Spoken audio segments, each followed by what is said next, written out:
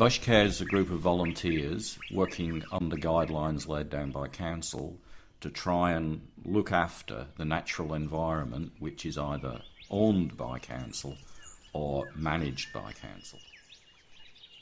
Because I enjoy it, I think it's worthwhile. There's a nice group of people there, so and also getting rid of all the weeds in the bush keeps the environment far far more natural. It's better for the birds, just a better habitat for everything.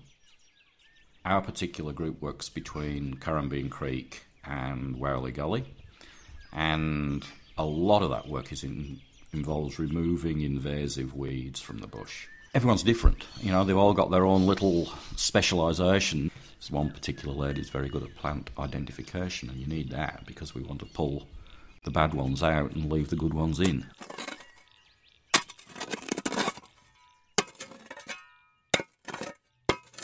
We found a couple of very large red bellied black snakes, not last session, the session before.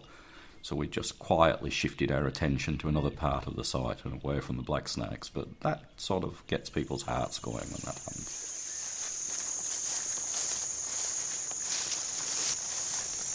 The Shoalhaven's very lucky. It's got a lot of natural area, um, but increasingly it's coming under pressure, mainly from increased population and development of concrete, bricks, and mortar, and so on. Now, there's a place for one, and there's a place for the other.